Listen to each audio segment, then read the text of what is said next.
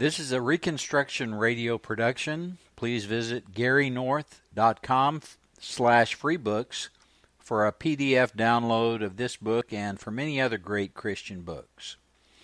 Backward Christian Soldiers, an action manual for Christian Reconstruction by Gary North, copyright 1984, published by Institute for Christian Economics. Narrated by Alan Bailey. Part 1 The War. Chapter 1 Backward Christian Soldiers.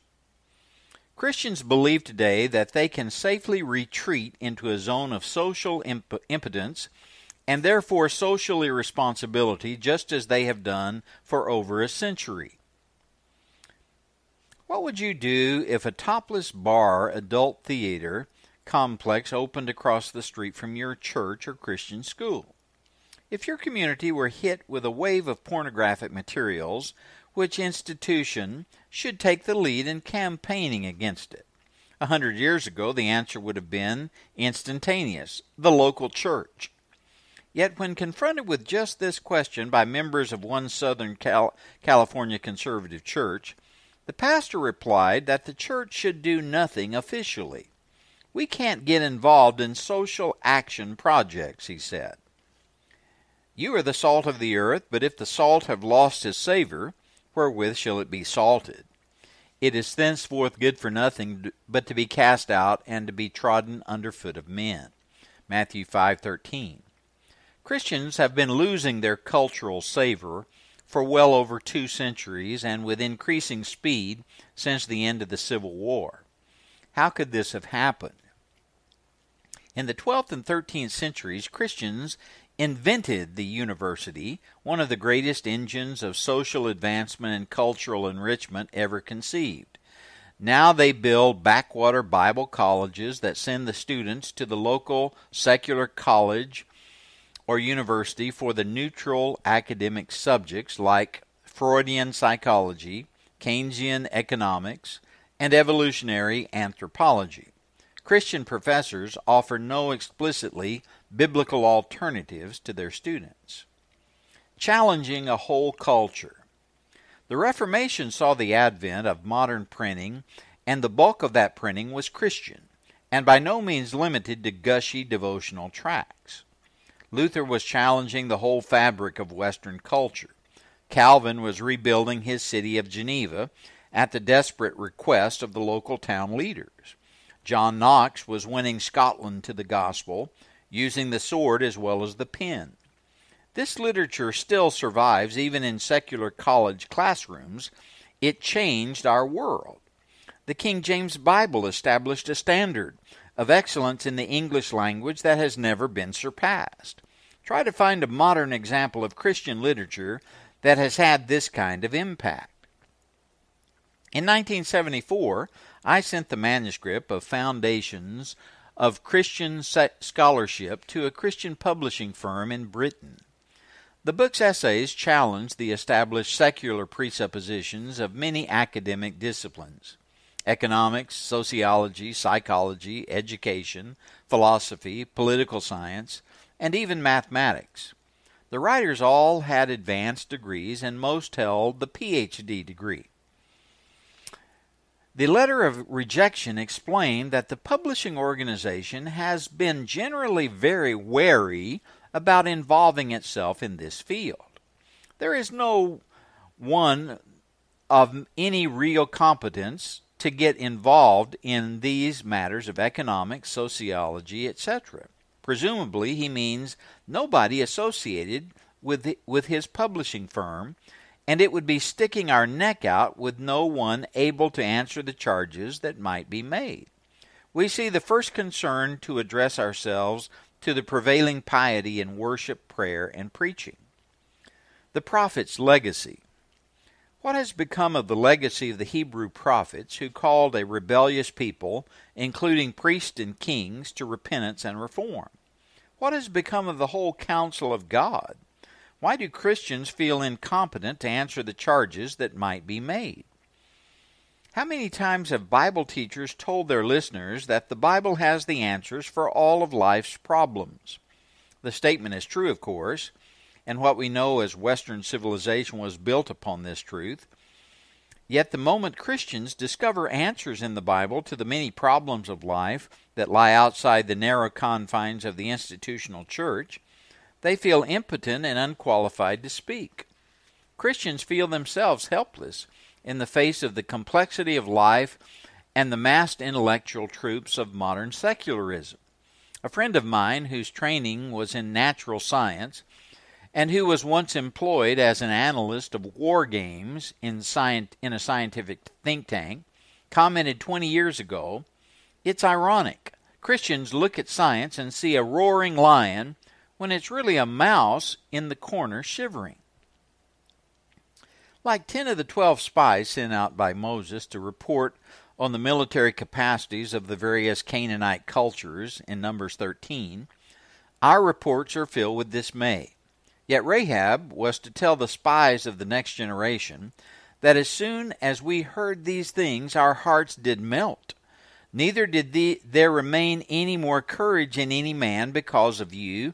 For the Lord your God, He is God in heaven above and the, in the earth beneath. Lord in the earth beneath, here is the battle cry of faithful Christians in every generation. Not Lord in the heaven above, but impotent on earth, but Lord of heaven and earth. The misinterpretation of Christ's words that his kingdom is not of this world should finally be given the, bur- the burial it deserves. He was asserting to Pilate that his source of authority and lordship was not an earthly source, but a heavenly source. His words are clear. If my kingdom were of this world, then would my servants fight, that I should not be delivered to the Jews. But now is my kingdom not from hence. John 18:36. But from hence. He was speaking of the source of his authority, not the place of his legitimate reign. His kingdom is not of this world, but it is in this world and over it. But how many retreatist sermons have been preached concerning the solely spiritual, exclusively internal realm of Christ's kingdom as a supposedly accurate explanation of this famous biblical text. I shudder to think of the number, like the sands on the seashore. Christian scholarship. Why should Christians be afraid to challenge the secular culture of today? Has there ever been a culture less sure of its own beliefs, less confident of its own powers, more confused concerning its own destiny? The newspapers, the entertainment media, and the universities can speak of little else but defeat and alienation. When a rare piece of positive drama appears, it usually deals with some historical figure like Patton or Cromwell. The Christians have hardly heard of Cromwell, the great Puritan leader and revolutionary general.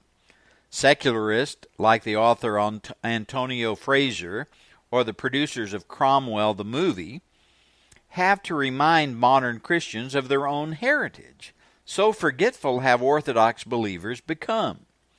We let the secularists do uh, even our spiritual work for us.